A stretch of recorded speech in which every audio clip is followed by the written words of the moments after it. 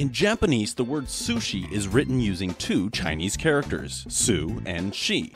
Su means happiness or congratulations. Shi means to preside, direct, or administer. Now, this doesn't make a lot of sense considering raw fish, but that's the way it goes sometimes. There's also another, less common way to write sushi. This kanji combines the character for fish with the character for tasty delicious, which makes sense from a marketing perspective.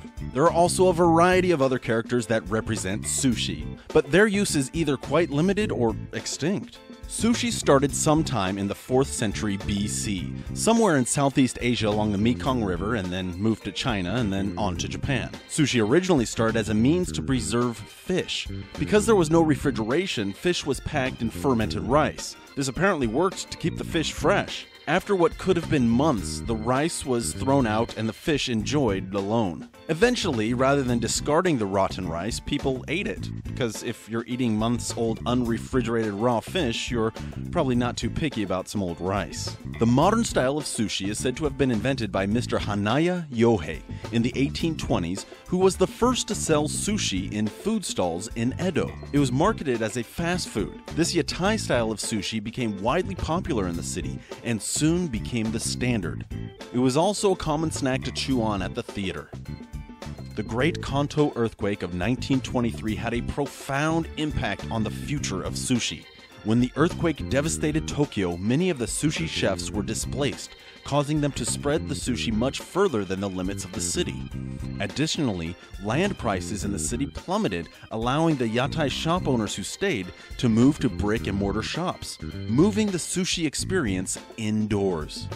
The original word for sushi meant sour tasting. In fact, the word actually refers to the rice, not the fish. The fish is just the topping. Modern sushi rice is made with a concoction of sushizu, sugar, and salt.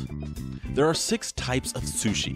Chirashi sushi, inari sushi, maki sushi, nigiri sushi, nare sushi, and oshi sushi. The nori used to make many forms of maki sushi was originally scraped from the sides of boats and wooden pier posts. Most wasabi out there isn't wasabi at all. Real wasabi is from the root of the Wasabia japonica plant. The stuff you usually find is probably a green dyed mix of horseradish and mustard powder. Sushi made with the infamous fugu must be prepared with great care because the fish's organs produce a lethal neurotoxin. As such, chefs of this dish must receive a special license, and the Emperor of Japan is forbidden from even tasting a sample of the dish. In the US and Europe, all fish, with the exception of tuna, that is to be eaten raw, must be frozen. This FDA regulation is claimed to be necessary to kill parasites. Tuna apparently is parasite free. 80% of the world's bluefin tuna catch is used exclusively for sushi. This is odd because the Japanese at one time despised bluefin tuna belly and considered it unfit for human consumption.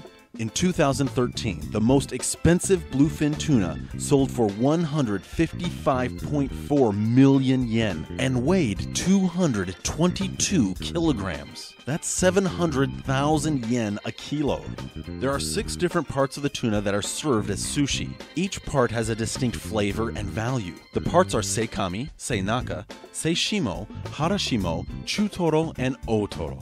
It is suggested that sushi should be eaten from light to dark. This is to maximize flavor, as the darker, more fatty fish can overpower the palate. When the maguro maki shows up, it may be time to finish your meal. The egg sushi can be a sort of sweet dessert type to finish. It is recommended to finish off a sushi meal with miso soup. This will help aid your tummy with the digestion. June 18th is International Sushi Day. So I guess you eat sushi on that day or something.